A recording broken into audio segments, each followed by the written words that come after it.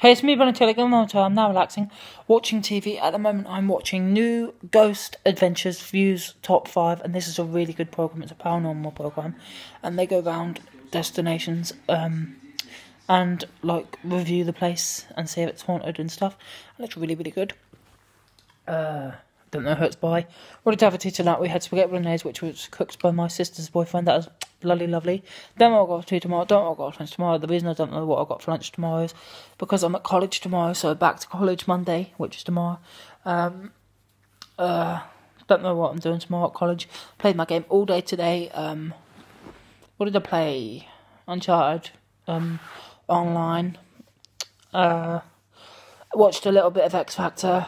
So Thanks to everyone that has subscribed and commented on my channel because I thought this channel would get nowhere and it started last year. I've got 106 subscribers and 12,000 views when I last looked. So anyway, I'm not going to go.